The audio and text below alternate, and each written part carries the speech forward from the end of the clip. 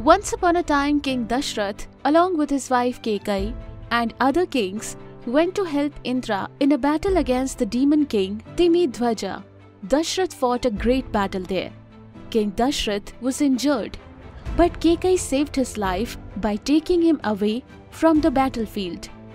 The king was so pleased that he granted her two boons, which she kept for future use. King Dashrath agreed to it. Kekai, under the bad influence of Manthara, demanded the king to fulfill her two boons. Kekai made the decision to have Lord Ram exiled for 14 years and Bharat be crowned as Ayodhya's king. So the question arises why did she ask for 14 years of exile instead of 15 or 13? Let us explain why this happened. Kekai knew that the people of Ayodhya loved Lord Ram, the firstborn of Dashrath. She knew that even if Bharat was made king, nobody would accept him as king until Lord Ram returned to Ayodhya. This is why she asked Dashrath to exile Lord Ram for 14 years from Ayodhya so that her son Bharat could be the undisputed king. Why did she ask for 14 years of exile instead of 15 or 13? This is because of the law of the land. Property law is still in effect today.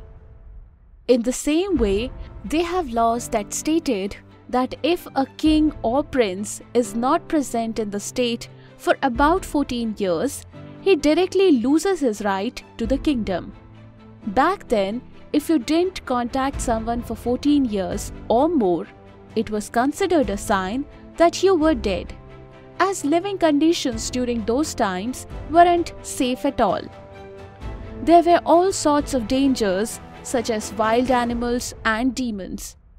If someone didn't return after 14 years, they were considered dead and their children or relatives would perform their last rites. Kekai made things easy for Bharat. He could rule Ayodhya without any disruption from Lord Ram or the subjects of Ayodhya for the first 14 years. And after that, he would perform his last rites and his son would be in line to the throne as Bharat will be the undisputed king. However, Bharat didn't want this. He was shattered by his mother's request just the way everybody else in Ayodhya was. He never ascended the throne and cursed her that no father would ever name his daughter Kekai. Ramayana happened in Treta Yuga. During that time, there was a rule that if a king abandoned his kingdom for 14 years, he would lose all his hereditary rights in that empire.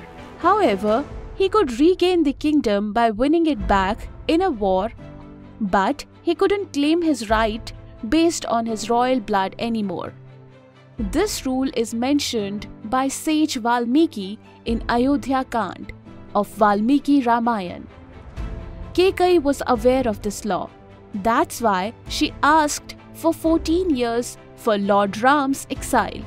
So even if Lord Ram returned, he would not have any claim over the empire. Thank you so much guys for watching this video. If you liked it, like, comment and subscribe if you haven't already.